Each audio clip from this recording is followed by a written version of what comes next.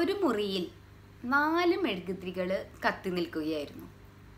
അപ്പം അതിലൊന്നാമത്തെ മെഴുകുതിരി പറയും എന്റെ പേരാണ് സമാധാനം.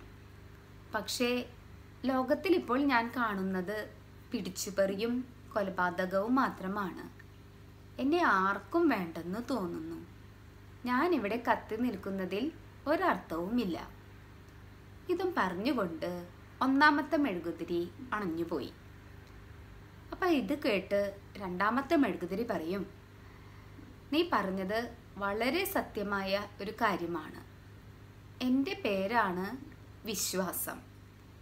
ഞാൻ ചുറ്റിലും കാണുന്നത് നുണയും ചതിയും മാത്രമാണ്. എന്നെയും ആർക്കും വേണ്ടെന്ന് തോന്നുന്നു. ഞാനും കത്തി നിൽക്കുന്നില്ല. ഇതും പറഞ്ഞുകൊണ്ട് രണ്ടാമത്തെ മെഴുകുതിരിയും അണഞ്ഞുപോയി. അപ്പം ഇതെല്ലാം കേട്ടുകൊണ്ട് മൂന്നാമത്തെ മെഴുകുതിരി നിൽക്കുകയായിരുന്നു. അപ്പം മൂന്നാമത്തെ മെഴുകുതിരി പറയും നിങ്ങൾ രണ്ടുപേരും പറഞ്ഞത് ഞാൻ പരിഗണിക്കുന്നു. എന്റെ പേരാണ് സ്നേഹം.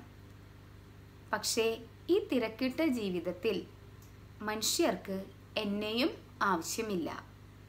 ആർക്കാർക്കും പരസ്പരം സ്നേഹിക്കാൻ തന്നെ നേരമില്ല.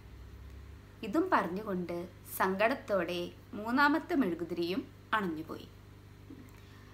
ഈ സമയം ഒരു ചെറിയ കുട്ടി ആ മുറിയിലേക്ക് കടന്നു വരും.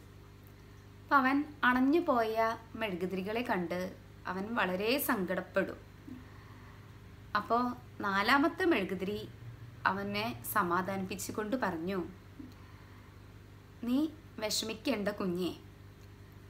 എന്റെ പേരാണ് പ്രതീക്ഷ. ഞാൻ കത്തി നിൽക്കുന്നിടത്തോളം കാലം. അണഞ്ഞു പോയ ഈ മെഴുകുതിരികളെയെല്ലാം നിനക്ക് വീണ്ടും കത്തിക്കാൻ പറ്റും. അപ്പം ഇത് കേട്ടതോടുകൂടി അവന്റെ മനസ്സിൽ ആഹ്ലാദം പൊട്ടിവിടരുകയാണ്. അവൻ വേഗം ആ മെഴുകുതിരി കൊണ്ട് മറ്റ് മൂന്ന് മെഴുകുതിരികളെയും കത്തിക്കുകയാണ്. നമ്മുടെ ജീവിതവും അങ്ങനെ തന്നെയാണ് അല്ലേ?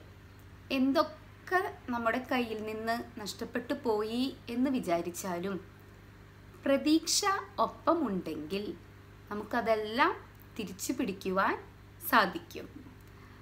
അപ്പോൾ എല്ലാവരും പ്രതീക്ഷയോടെ തന്നെ ജീവിക്കുക. നന്ദി നമസ്കാരം.